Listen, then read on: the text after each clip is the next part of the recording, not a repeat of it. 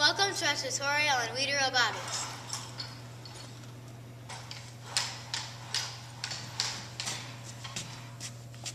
In this episode, we're going to show you how to build and program the Smart Spinner.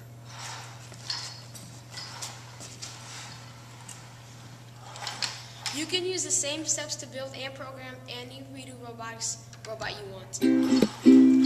It really isn't hard. We'll show you how we do it. It only takes a minute. No, there's nothing, nothing to it. We're the Goonies, and the Goonies never say die. No, we don't. Uh-uh.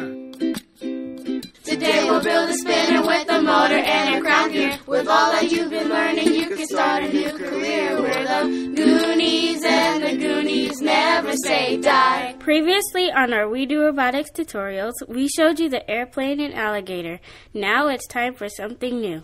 These are all the pieces you'll need to build this model. Don't worry, you don't have to memorize all these pieces.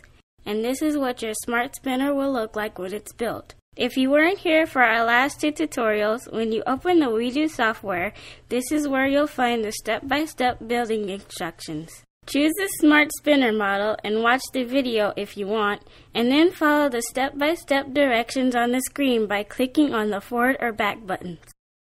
Here's how you build it. When you attach the other red beam with the 16 studs, make sure that the smaller gear is meshing with the crown gear, and make sure that the thin white plates are aligned perfectly. This is how it looks once you've built it. To get your top to spin, you must first insert the top into the smart spinner so that the gears mesh. Then hold the spinner parallel to the surface that your top will be spinning on and start your program. When you're ready, quickly lift the spinner straight up and watch your top spin. Now, instead of telling you how to program your spinner, we'd like to give you some challenges. These challenges are just for fun, so if you can't get them, it's okay. If you need to know what any of the program blocks in the palette do, just go back to our first and second tutorials. Before you get started on our challenges, we wanted to show you how to create a timer in the WeDo software because you're going to want to know how many seconds your top spins for.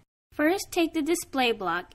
It's the one with the numbers 1, 2, 3 on the laptop screen, and add it to the end of the program that you make. Have the display block show a zero underneath it in the number input. If you have not made your own program, then use the example program that the software provides. After you add the display block, add a repeat block after it. Then add a wait for block inside the repeat block. Make sure you have the number 10 inside the number input block. This will make the program wait one second before the next thing happens. After that, drag the add to display block after the wait for block and make sure it shows a 1 in the number input. After you add this to the end of your program, it will help you accurately count how long the top spins for. Now for your challenges. For your first challenge, you'll need to try to make the top spin for 20 seconds or more. Make sure you record your data so you know what works and what doesn't. For your second challenge, you'll need to try to make the top spin counterclockwise for less than 10 seconds. Again, record your data. The third and final challenge we'd like to give you is to see how long you can get a Lego figurine to stay attached to the top while it's spinning. Thank you so much for watching our video. Please let us know if this tutorial helped you and check out our other tutorials when they come out.